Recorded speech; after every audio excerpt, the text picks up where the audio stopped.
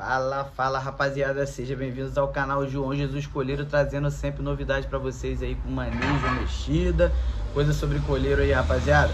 Hoje eu vou trazer para vocês uma parada bem bacana, que é como tá sendo o tratamento do colheiro Godzilla, tá? Para quem não sabe, o colheiro Godzilla é um dos melhores colheiros aí atualmente da Bahia, com várias cantadas acima de 200 aí do nosso parceiro Tadeu e ele tá tratando hoje o Godzilla da mesma forma que ele tratava aquele colheiro V8, lembra?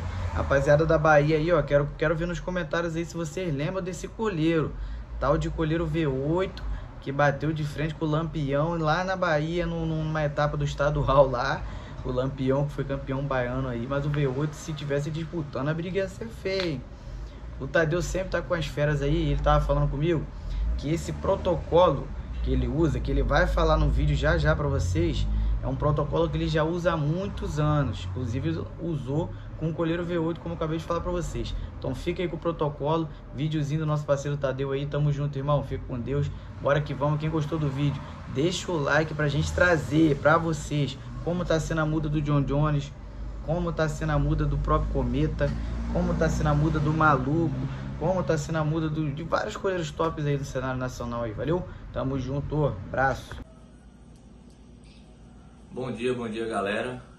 Aqui eu estou mostrando para vocês aqui é o coleira é, Godzilla, é, o trato do dia a dia da muda pós-muda a qual eu uso nele, né? Eu trabalho com produto de Carlo Braz, né? Esse protocolo e ele já está num num término do ciclo né, do Trotazuril, hoje é o segundo dia da segunda fase, já estou terminando, tá? É, esse pássaro, a cada seis, seis meses eu faço esse tratamento e durante o período de disputa eu trabalho na segunda-feira com a desintoxicação com a silimarina, né, que é para limpar todos os, os nutrientes que ele come, segunda-feira quinta, sexta e sábado, complexo vitamínico. Quando eu vejo que não há necessidade de dar, eu vejo que o passarinho já está tratado, eu paro, fico intercalando.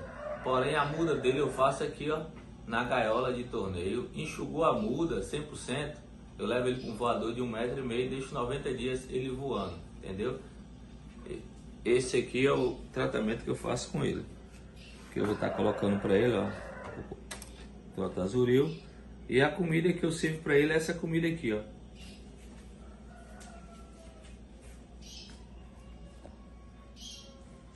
Aqui tem a proteína bruta na, no milho pista, né? E tem extrusada, oréganozinho, uma areia e um pepino. Todo dia eu coloco pepino para estar tá hidratando ele, beleza?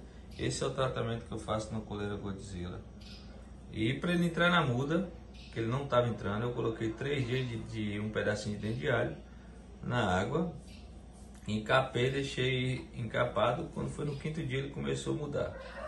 Deu no comando sempre, vamos que vamos, esse é o tratamento que eu faço no meu, todos os meus coleiros.